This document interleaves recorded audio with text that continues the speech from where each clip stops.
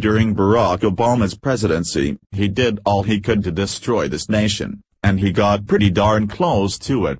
Obama not only pushed back race relations decades with his manufactured race war, but he also allowed floods of illegals to pour into our country unvetted and unchecked so they could vote for Democrats in upcoming elections.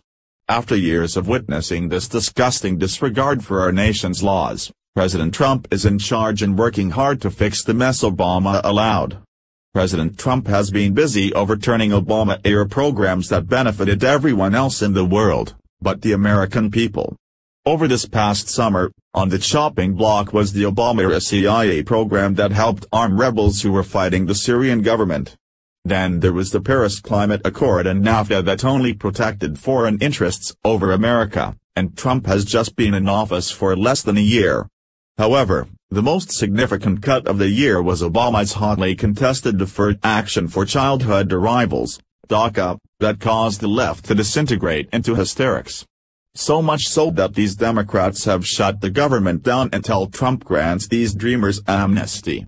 Not to be deterred by the shameless blackmail from the left Trump is pressing on and is now deporting celebrities with an illegal immigrant status sending a clear message that he is not one to trifle with, and all we can say is hell yeah.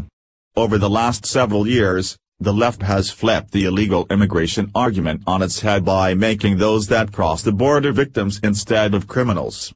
They have brainwashed an entire generation efficiently into believing that these illegals have every right to be here and the American taxpayer needs to open their wallet to pay for them.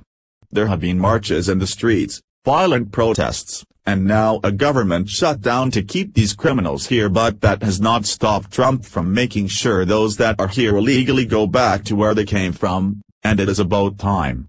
Two illegals that have been able to gain notoriety for their liberal activism have been detained and are now being deported by the Trump administration after being passed over for years by ICE agents under the Obama administration. Here is more from Conservative Tribune, underscore Avinath Ragbir and Jean Montalvo, both prominent figures within the pro-illegal immigration group New Sanctuary Coalition of New York City were detained and deported by Immigration and Customs Enforcement after years of being allowed to stay in the country at the discretion of federal officials, in spite of the fact that both had been convicted of serious crimes. Underscore, underscore according to the New York Daily News, Ragbir was detained by ICE on January 11 and informed that his reprieve from deportation would not be extended further. Underscore, underscore Ragbir, executive director of New Sanctuary, was checking in at the ICE office in New York City when he was detained. While Ragbir had immigrated to the United States legally back in 1991 from Trinidad and Tobago, he was convicted of wire fraud in 2000, according to the New York Times. Underscore, underscore Ragbir received a deportation order in 2006, but in 2011 ICE officials in New York City gave him a reprieve of deportation. That reprieve was extended last April, but ICE officials informed Ragbir that reprieve would not be extended further. A judge will now decide his fate. Underscore, underscore one week later, Haitian national Jean Montalvo, a co-founder of New Sanctuary, was deported after being taken into custody in early January. Montalvo, who had entered the United States in 1986, had served time on a drug possession charge and was in the process of appealing a deportation order. Underscore, underscore according to The Intercept, Montalvo's lawyer said his client believed that he had reached an understanding with ICE officials. Underscore, underscore the general consensus among members of the activist community was that these arrests were targeted acts. Underscore, well, of course, they feel that the acts were targeted, but that could not be further from the truth. In fact, these two activists were breaking the law by living in the country illegally and had been passed over numerous times for deportation in the past. This was not a vendetta against them but rather a president finally enforcing our immigration laws that have been ignored for almost a decade and more. However, there is more to the story as there always is when you are dealing with lying leftists.